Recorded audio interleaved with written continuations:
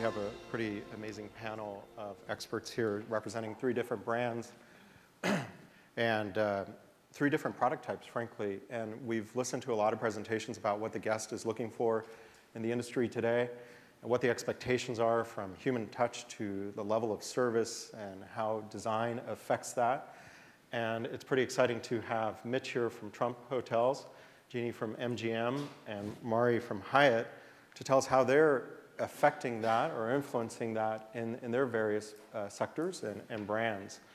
So we'll, we'll go ahead and get started with Mitch, uh, again with Trump Hotels, and your product. Uh, and we've had a lot of conversations over the past few days, and I'd, I'd like this to be an interactive conversation as much as possible. Mitch, uh, your product is about that human touch and high level of service, focused with the Trump Hotels. But now you're launching two new brands uh, with your group, and what I think is interesting to hear is how are you going to continue that with some of the other brands that you're developing that are more, uh, that they're not five-star properties, for instance. So how, how, do you continue that, that brand? Sure, sure. So our, our five-star product is, is very well known for not only just its uh, you know, level of standards within the actual asset and, and the architecture and design, but also mainly in the service level.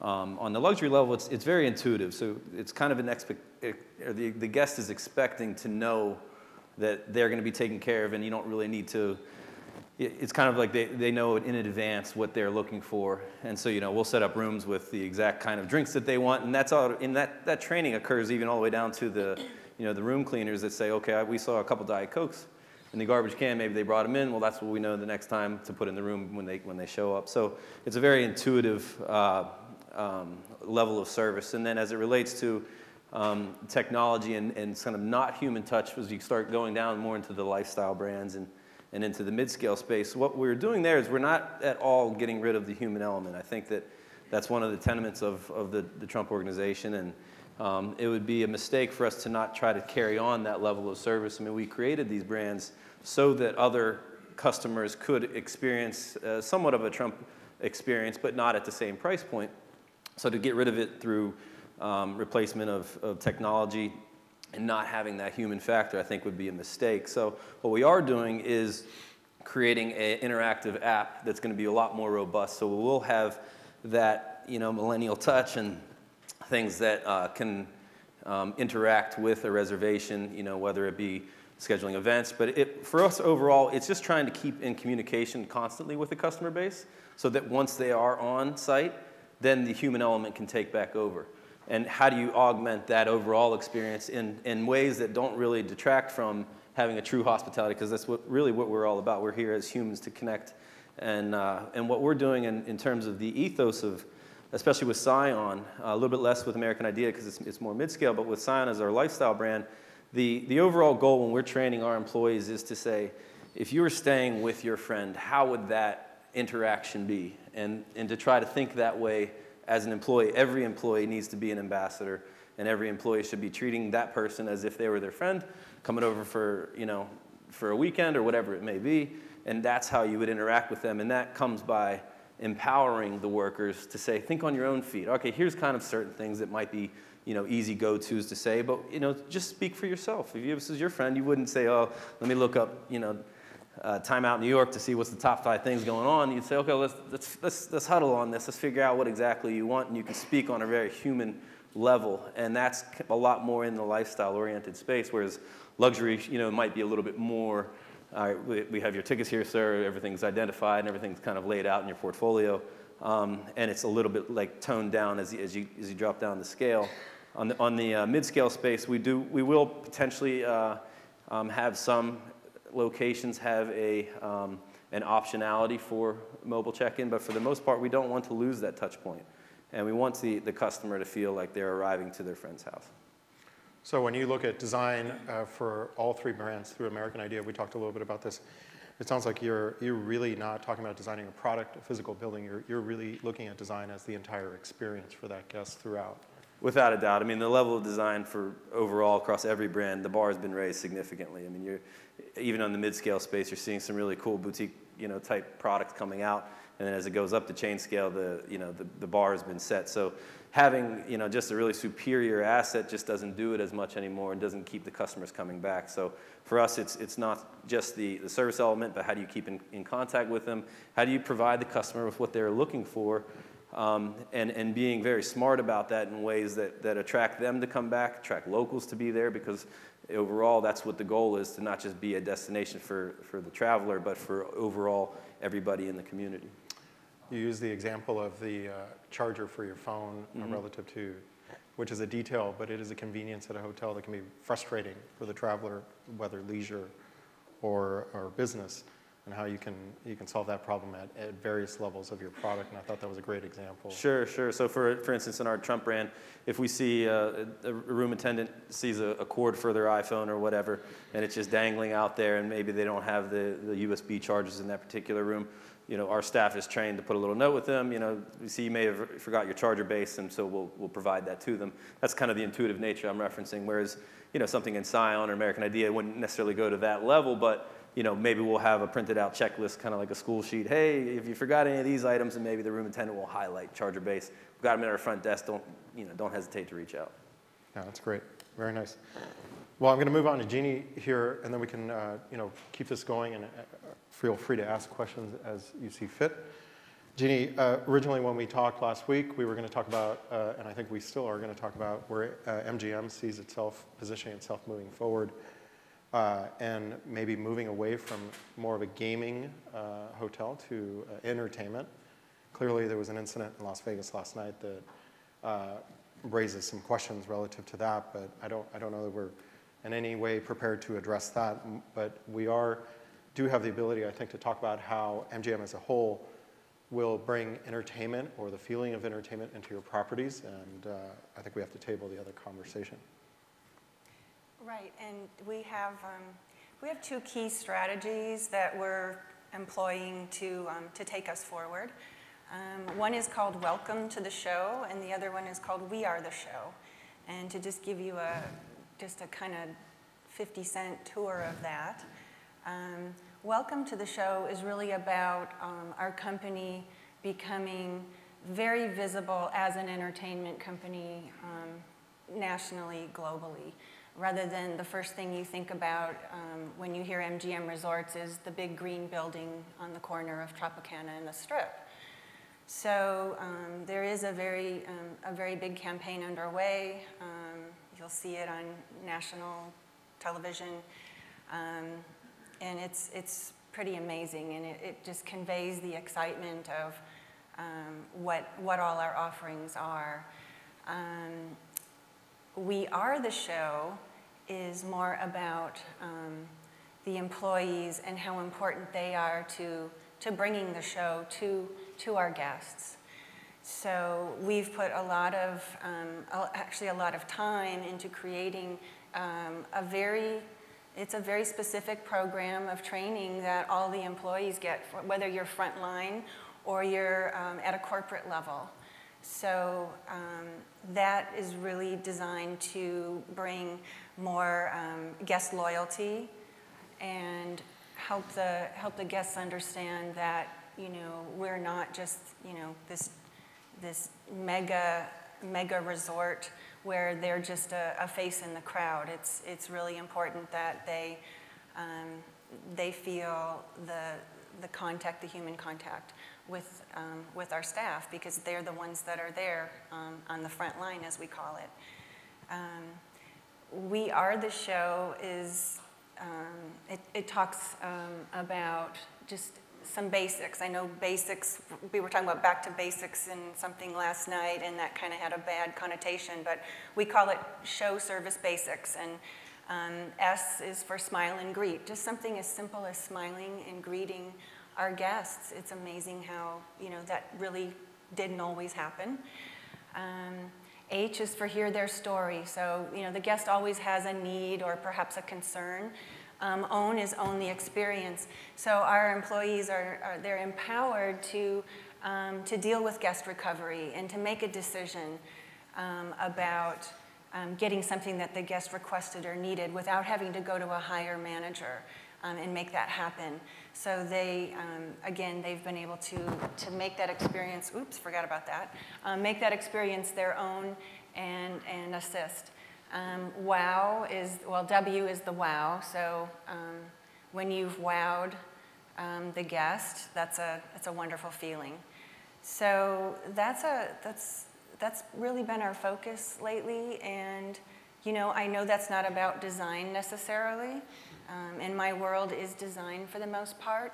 But it's just amazing how that flows over into you know the physical property that is that is there and, and what is offered there. And we talked about this last night, specific to your properties. I mean, the MGM Grand, for instance, a, a major property, huge lobby, and has some challenging design um, elements like the arrival sequence. And how do, how do you make that an experience or entertainment for your guest as they arrive at the porte cochere or they enter the lobby and there's several hundred people in there and they don't have a sense of how long it's going to take to check in, where are they standing, they're standing around with bags. But you talked about that sequence of arrival through to the guest room and, make, and how important that was to you and bringing entertainment to that. And, you know, it is so critical. Um, one of our handicaps, I suppose, is that um, it's a long way from the, the arrival to, to the ultimate, you know, to your guest room destination. And there has to be a level of um, wayfinding that is intuitive, um, not confusing, um, welcoming. Um, it, it's just it's just critical to create that that kind of sequence that um, that works. And so, you know, there's a bit of a buildup at the arrival, and then by the time you get checked in, you know, now you're like, okay, where, where am I going? And, you know, the most obvious thing would be to employ signage or some other type of wayfinding. Um, historically, um, casinos are not really great with having good wayfinding signage, and I think that idea, you know, is, is a thing of the past now. So um, most often you have to go through the casino to find your, um, where you're staying, so find your room. And so we've really gone away from just let's confuse everyone and they you know meander around the casino until they find you know where they're going and they're very frustrated by then. So we've made it easier and um, you know signage is just one one critical point of that. Um, but as you, you know, as you continue through the space and now you're into the, um, to the elevator lobby, even that can be confusing because you've got, you know, elevators that only go to certain floors or they only cross over on certain floors and having that um, to be um, uh, clarified for people is really helpful. Um, as well as, you know, we are in the elevator. Well, guess what? It's, you know, 50 stories, so your elevator can get pretty, um, pretty static if you, if you, you know, don't take that opportunity to further orient guests. Um, and in, you know, there's a buildup, and, and there, the buildup continues through the through the elevator experience and the corridor experience, and then you're finally in your guest room. But there's definitely um, an importance to not breaking that continuum. Great, thank you. Uh, we'll come back to a few things there. Uh, Mari, Mari you, you, and I have chatted, as well as with the group, about what Hyatt is doing uh, relative to health and wellness and uh, an opportunity that you see as a company to move that forward.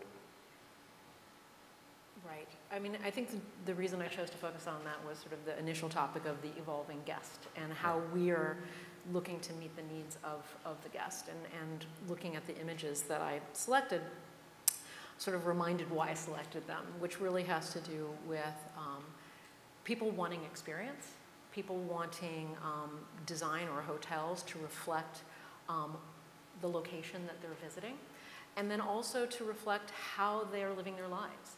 And so that's really the notion of the wellness component, is that we're looking at, our guests are asking for um, an enhanced um, lifestyle experience, wellness experience. And um, we recently purchased two companies. One was is Miraval, which is a, has a very small footprint, one property in Tucson, one that we're um, converting in Austin, and then another one soon to happen in Lenox. And some of these images are actually from the original um, Miraval. And this is a, a destination wellness resort and um, is really um, unique in its offering. It's going to stay as an independent entity within Hyatt. It's not that we're bringing in brands and then we're just going to Hyattize everything. And that's sort of a word we use, Hyattize. Um, it's about learning from people who are experts in that field to see what we can learn from them that they can continue to operate separately and then we can bring in components.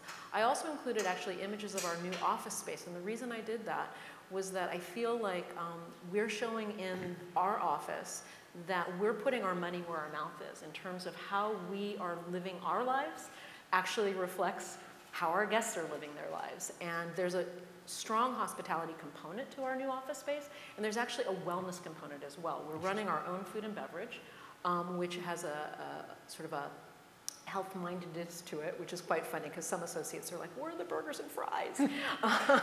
but um, everyone was given a water bottle when they, they moved into the office. And you're actually forced to walk through the office, which is a really interesting thing, to go to these sort of um, almost co working spaces where we have a cafeteria or coffee stations, so that there's a lot more um, social interaction that we didn't have in our previous office.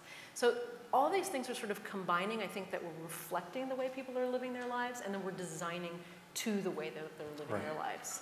Um, and for us, I think it's a, it's a really interesting moment to really learn from other industries and figure out how we can begin to sort of weave those lessons into our more standard properties. And that's a good segue because I think, uh, Jeannie, you brought up the question of who do we look at uh, as being in the hospitality industry? Who do we look at for examples of things that they're doing well that we can learn from? And you're saying you're looking at health and wellness, for instance, and, and bringing that in. Jeannie, Mitch, what, what, where are you guys going for inspiration other than the typical book of consultants? You want to go first? Sure, sure. um, for us, it, it's, it's, it's obviously, you know, just being aware of what trends are going on, uh, especially as, as you see, you know, everything from apartments to, you know, hotels becoming a hospitality solution with this live, work, play environment. And so really taking an opportunity to how do you um, not only, you know, play that up and exemplify that, but capture additional revenue from that sources. So what we're doing, uh, especially with our, our Scion brand, um, and actually even in our Trump brand too, we're, we're changing a little bit. I- We mentioned last night um, with our Vancouver project, we, we have a nightclub in, in, our, in our pool area of our Vancouver hotel with a dance floor that comes out of the pool. So that's not really something you would see in a five-star experience, but it's, it's being aware of the trends going on, makes sense for that market. Um, so that's something that's new. For, for Scion, uh, without a doubt, we're really uh, embracing this, this co-working um, trend that's going on. And so making the, the public spaces, or if it's conversion opportunity, taking a, a ballroom, something like this, that, that may be repurposed or has additional revenue potential by activating it throughout the day, or having that flexibility of, of activation so that you could still use it as a ballroom if necessary, but activating it during the day not only just increases the um, interest from, from the traveler, but also the locals. So if, if the locals know that I can come there, just as they do going to a Starbucks and have you know great Wi-Fi and access to a cup of coffee or some sort of small F&B you know offerings and get their work done, that should be a way to you know enhance the overall guest experience as well. I think with, um, and this is probably with anyone, um, we, we garner a lot of information from um, what our guests are saying on social media. And that is, I don't know how many years it's been, but that's just suddenly now the way that we get a lot of that intelligence. Um, you know, not little focus cards that, who said we threw them out last night? Um, so I think the, the social media thing, it's kind of a good news, bad news thing, um, but it's just so, so useful. Um, you know, not only do you, do you get the, the, the kudos when you do something right, but you also are instantly alerted when there's something that's really not, um, not preferred or favored. So I would say that that is where we're getting a lot of, a, a lot of vital information from. I would agree. I think we use a lot of, of that kind of data to help inform our decisions and, and to really hear the guests. And it's not specifically the, the sort of the surveys that you get when you stay Right. in a hotel. We're actually really trolling social media, right? Right. We're pulling information from a variety of sources that are not necessarily directed towards us, but we're, we're capturing how people are inhabiting our spaces and what they're saying that they love and what they're saying that they don't love. Um, and, and it's really helpful because it, again, we're catering to the guest. And, you know, we're a relatively small company by comparison to some of these larger companies. Um, that can be our differentiator, is that we can be more flexible, more tailored, both to our guests and to our owners in terms of the product that we're developing. Yeah, I think it's, it's been interesting for the past several weeks to hear the, the three brands talk about just guest experience and, and, and what we're doing to enhance that versus any of the physical design, which uh, two of you are intimately involved in the building, and it's all been about how do we make that guest experience better. I think that was emphasized today earlier in the presentation about materials and finishes and relative to what, what the guest experience is and what can make or break a property. Are there any questions in the audience for the panel? Wow, really? Okay, we're done. We're done. what can, uh, Mitch, what can you tell us about uh, American Idea? So American Idea was, was born off of, um, again, just kind of looking at where we are within the five-star space. You can't put a Trump five-star, you know, across the nation or in a lot of MSAs. Um, you know, then looking at a four-star, where could you put those? And there's a lot more places. And, and with the, the, um, the American Idea brand, it was really geared to, it could be anywhere. So looking at the map and saying anywhere within America, whether it be a top-tier MSA or, you know, our first four and really small towns of, you know, 10 to 15,000 people in Mississippi.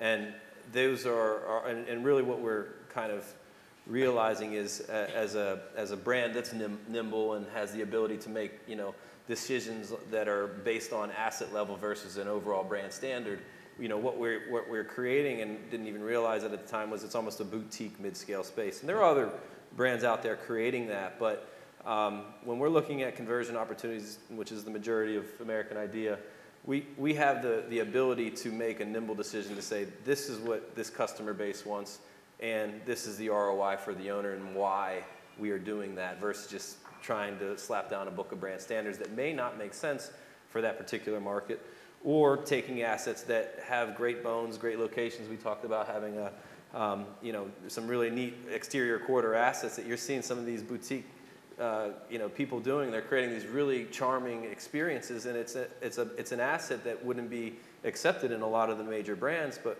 we believe that there's a life to them, and somehow or another we can create a, a great story and a narrative to that that translates down to the guest, which ultimately translate to a, a higher ADR. And then specific to the built, built product and, and design, uh, Jeannie, what are some of the exciting things that you- you were doing with MGM that you, you think are going to be, going to stay? Uh, in- Um, I think that I, I, I won't go to hotel rooms yet because that's such an easy crutch to, to go into. But right. one of the things I've seen, um, and, and we're doing it as long as well as others, um, meeting and conference spaces are becoming so much more sophisticated and um, so much more flexible. Um, we're expanding, um, for example, um, at the ARIA, and it's actually a case of adaptive reuse. Um, the uh, building that housed the theater for, I don't know if anyone even remembers, there was an Elvis show initially there in that showroom, and then it became a Cirque show. And um, it's now being converted into additional meeting and conference space um, at the ARIA. And there are a number of kind of interesting spaces that are um, um, more intimate, more flexible, um, lots of great executive kind of retreat breakout spaces, in addition to the you know million mile long ballroom space. Um, and that's being done in other properties of, of ours as well. Um, so I think that it, it's almost like we can't, we can't build it fast enough to Right. accommodate the different needs that are happening in um, various conferencing and meeting um, venues. And to use your definition of it, the easier side of things, uh, the hotel guest room? Yeah, that, I mean, I could just babble about that forever. Um, but one of the things I'm really noticing is that um, I, I guess I call it the lightening of the, um, the clutter and the heaviness of all of the furniture that's in guest rooms. And this isn't even necessarily related to, oh, I'm, you know, maybe more in a core property level rather than a luxury property. I'm seeing it in, um, in all sectors. Um, it's just not necessary anymore to have um, a giant wardrobe with doors and, you know, everything's, but the kitchen sink is stored in there. Um, more open storage kind of ideas and, and storage the way really people use it when they're only there for 2.1 days or whatever the statistic is. So, um, you know, who needs a, a, dresser with eight drawers in it, for Pete's sake? That's just not relevant anymore. And I, I, think everyone knows that, but it's taking a while to implement that into, um, into projects. It's, it's easy when it's a new project, but if it's a remodel project and that remodel doesn't come up for two years, you know, you've kind of just got to wait your turn. Um, but the materials in the rooms too are lightening up and simplifying. Everyone wants a, a, sliding barn door on the bathroom instead of the swinging leaf door, um, again, to make the space appear larger and be able to move about um, more easily in an existing bathroom. Um, flooring, not always carpet anymore. You know, if you can, if you're at a level where you have real wood, that's great, but a lot of people are going to the what is it? It's called LVT for luxury vinyl tile. but, you know, it makes sense. And, you know, you put that in a space that formerly had carpet, for instance, and it's like, you know, this, this does make a difference. Um, you know, and technology is not so gimmicky now. Um, it's, you know, there's a big focus on it, but a lot of, a lot of it is just people bring their everything's portable technology, personal technology. So really all you need to provide is, you know, the hookup. So um, it's, it's really um, changing very rapidly. Oh, desks. I mean, who wants a desk anymore in their room? So, but they, you know, but they need that horizontal surface. So how does that translate? And, um, um, you know, everyone had to have an ergonomic desk chair on casters. Why? You know, can't we find a chair that maybe is a little more multi-purpose, but I can I can sit upright in it or lounge or, you know, or be comfortable in a number of functions. Um, so, you know, the individual pieces in the room, and we, we, had our, we had our talk about window treatments. You know, everybody wants to be hip and, and put in shades or um, some sort of a, a shade device and, and get away from draperies. And frankly, sometimes a sheer drapery and a blackout drapery is a very simple solution and it's the most functional. So it's not trying to jam in, you know, what was, you know, considered trendy um, just because it, it's kind of bubbled up, you know, really thinking about maybe, you know, maybe we don't have to go off in that direction. I mean, building on what you're saying is that essentially sort of the influence of residential design is coming into hotels. Exactly. And has been over the last several years. Exactly. And I feel like in the past, maybe 10 or 15 years ago, hotels were really aspirational. They were, right. they were built as sort of the, the symbols of what you would aspire to in your own home. And I think now it's actually kind of going the other way, where people are living a certain way in their own homes. Right. And when they go to a hotel, they don't want to be forced into some sort of antiquated way of living on a, a you, you, don't have a caster chair right at, at, in your home you have a nice comfortable chair and mm-hmm. that's what and you happen to work at your dining room table or you happen mm-hmm. to work at your kitchen counter oh, and so i think the hotels are really starting to sort of blend those those nuances together to really create something that feels like something that represents you and your lifestyle yeah it feels like based on our conversations we're seeing a trend to let, us rein it in a little bit, right? Exactly. It's, it's become this playground where there's technology and all these wonderful things that we can throw in there and we're fighting for.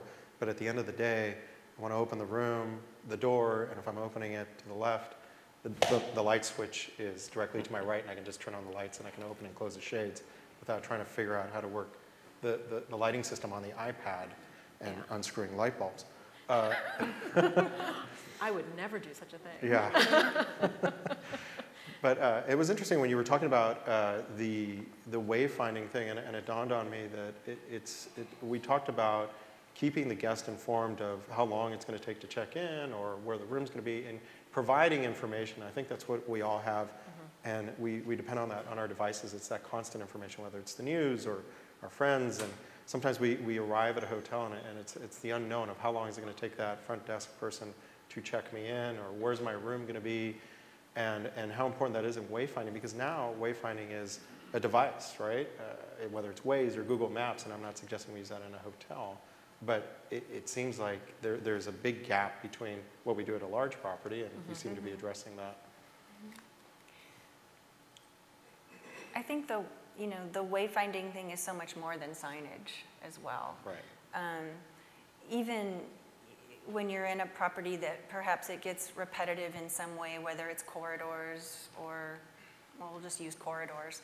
Um, even the artful placing of, of artwork, um, creating something a little different at each, at each turn, let's say, um, it's a memory point for people. And so they start to assign things in their mind. Oh, I know that I'm, you know, I know I'm going in the right direction because I've passed the yellow pear painting several times. So it's, I think, you know, it's, it's not just signage, although signage is super critical and, and it's, it's sometimes the most sensible. Question? You guys will start with it, but um, how do you balance the concept of branding and being able to brand and really drive the brand with the, the, the true kind of, uh, allowing some flexibility of the functionality, uh, the unique guest, uh, that the modern guest may not be as loyal as in the past?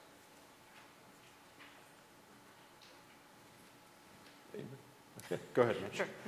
Um, well, for us, I mean, you see the explosion of soft brands occurring, and and and really, what those are just a reflection of what is the core essence of the experience that you're that you're going for as as a soft brand um, um, owner or manager, you know, and so keeping a level of standards there. So it, it's it, and that kind of also jives in with what's going on overall in the design, where people are looking for authenticity to the location, and how do you do that if you have a hard fast brand standard. So it should be, and what we're doing in our group at least, is okay, you know, maybe the brand standard doesn't say a specific type of tile, but does that market need, you know, a carpet or does that need a tile? Okay, well, as long as it makes sense for that particular market, then, and that's also a benefit of having a nimble company, we can say, okay, that, that's part of the brand standard for that. But that really just boils down to the, the bureaucratic ability to make decisions on the fly for what makes sense and the ROI for the owners um, and, and just try to keeping costs down. Or and sometimes it's not even really about keeping costs down, so to speak. It's about where do you put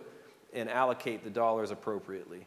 So, you know, if you're looking at a renovation that, uh, you know, if it still may be 10, 20 grand a key or whatever it may be, but those 10, 20 grand a key are the, the highest impact dollars. So for the owner's sake, at least they can say, okay, uh, this is translating into more rates or more revenue potential for me. Whereas before I just said, oh yeah, I just needed four inch square tiles in the bathroom for no reason. Um, so I think having that, that awareness of what makes sense for each uh, location and, and, and the, the market um, really goes all the way up the chain in, in command. I also just think that um, brands are no longer about a specific look. So it's not as though, you know, I can use fast food examples. McDonald's looks different than Burger King. Um, I think it's about the sort of the security of our umbrella brand. So if, if you're Hyatt or Hilton or MGM, there's I think there's a security from a guest perspective that there's a, a baseline of quality and service that they're going to achieve in that particular product. And then I think from our perspective, it, again, we don't have really any prototypical brand. So it's not that you're going to have a specific look and feel at any one of our hotels, but we do have a set of guest touch points. And those touch points are sort of the red thread that sort of run through the design at any one of our brands. So a certain check-in experience at Park Hyatt is always going to be a similar check-in experience. Um, and then a check-in experience at a Hyatt Centric is going to be also consistent across the brand. So once you begin to stay in those properties, I think that you, you sort of find your home where you feel the most comfortable and you know you have the, the, the comfort level, I would say, that, that you're going to have that a similar experience and a similar quality of experience if you are going to, you know, the centric in Montevideo is one of the images I have here, but then we have a centric in Chicago. So it's that kind of, oh, I, I think I'm going to try that because it, those centric properties, well, they're always in a cool neighborhood and they always have a really great restaurant. And well, I know it's going to be a comfortable stay because, well, Hyatt always has a really comfortable bed. Um, and I've never been to Montevideo, so I'm going to trust this brand with my stay um, because I've had good experiences in the past. So to me, that's where that sort of brand differentiation comes from, but it's not a specific look and feel. Jeannie. Makes me think about um, something sort of interesting. We're, you know, we're only, like in Las Vegas, we have 12 brands, if you look at all the properties that we have there. But there are some operational consistencies and efficiencies that we um, have started to build into those properties so that they're less, um, I guess they're less independent, but it keeps the um, guest expectation um, consistent from property to property. And uh, there's simple things like um, there's a there's a corporate standard for the bedding and the mattress sets. Um, there's a standard that we have for um, the AV that's technology that's in the room. Um, and it, started out by just giving us um, better efficiencies, but what it's really done is it's helped um, people understand what to expect in, in even though those there are 12 different brands, they understand that there's a consistency there. Now, it's interesting also, just because my role the, on the development end also crosses over into the legal side when you're getting into contracts and you have to have, okay, what is the brand standard? At some point, the buck has to stop somewhere and there has to be a line drawn in the sand. You know, at that point, you have to have the ability to make concessions. And so, you know, there, that's the crossover where it becomes messy, you know, and if things go bad, you know, this, this guy has this tile, why, why am I being forced to change this, whatever. Um, so there is a little bit of unknown that I'm, I'm, I'm, assuming, especially now with all these soft brands occurring, that will inevitably come to a head where, where you know, on, on a legal side, contracts can become difficult. But, um, you know, um, hopefully by then there'll be experts that can say, yes, this is on par of, of that ilk. Interesting. Other questions from the audience?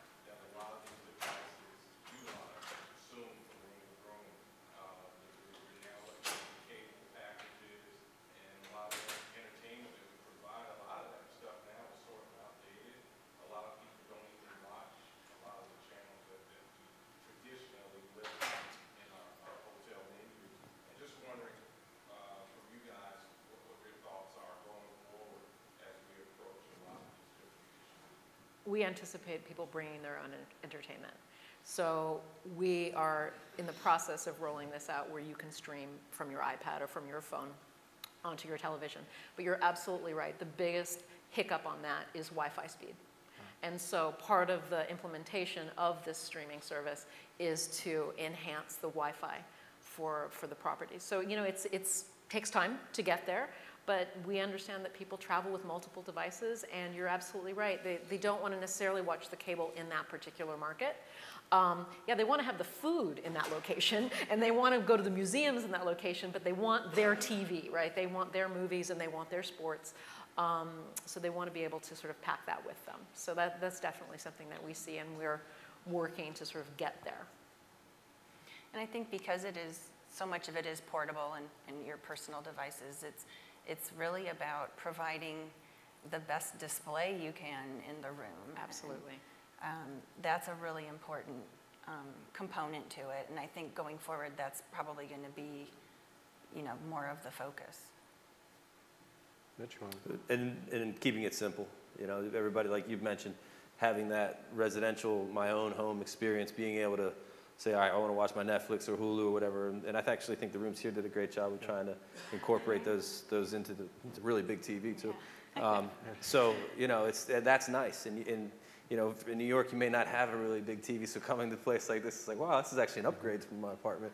But, um, you know, it, it's, uh, it's keeping it simple because if the, the more that you have to navigate around, I don't want to put my password in here, but if you just feel like one simple thing, boom, boom, boom, I'm going to use it. I'm, and I'm, but at the same token, it's also, like you said, you know, people aren't watching the TVs. I, I happen to like watching local news. I think it's neat to see a little local color. But beyond that, I don't, you know, I'm going to watch my Netflix. Right. We probably have time for one more question. Anybody? Right here. Do you see any change in the, the delivery of food and beverage, specifically in room dining and sort of high-cost unionized environments? Something that our company's focusing on a lot. at the moment. Absolutely. I mean, you've walked through the lobby here and you've seen that great little market that we in- installed here. And the Regency brand and actually the Grand brand, we're doing um, a lot of these new markets because people want that flexibility. They don't want to have to do a sit-down meal. Um, we can minimize when appropriate um, in-room dining because you can grab it and you can take it to your room or you can grab it and you can eat it there. And then some of our brands we've actually partnered with Grubhub and they're doing delivery service for us on, on the Centric brand. So I think it's also understanding who sort of the target demographic is of your particular brand and, and sort of the niche of the location um, and, and really giving those people what they want. Um, we're not going to remove room service from a Park Hyatt. The, the expectation is that you're going to have a white linen tablecloth and silver service when you're at a park. But when you're at a Centric, you're a different kind of guest. Um, you're someone who the reason Grubhub seemed like a really good match for us in Centric is that Grubhub is going to bring you the best of local cuisine, ethnic cuisine, neighborhood cuisine. And that, that is the Centric guest. They really want to understand where they're staying and they want to participate in the neighborhood. So if they're not dining in the restaurant, which many of our Centric um, restaurants are actually outsourced, so they're not Hyatt run, um, we can at least bring in the neighborhood to them. So we're playing around with in-room. And, and for us, I mean, the, you know, the room service aspect is, is still very viable, um, but the expectation is, is that it's not coming from, you know, the three meal a day restaurant. It's coming from any of the other um, food and beverage outlets that are, that are in a property. So you're, you know, you might have access to six other food and beverage outlets on any given property. And the expectation is that they're able to draw from that, but enjoy it in their room. Mm-hmm. Great. Well, unless we have any other questions, I think we're practically out of time at this point. So I'd like to thank everyone. Thank the panel, obviously. Thank you. Thank you guys very much. Joining us. yeah.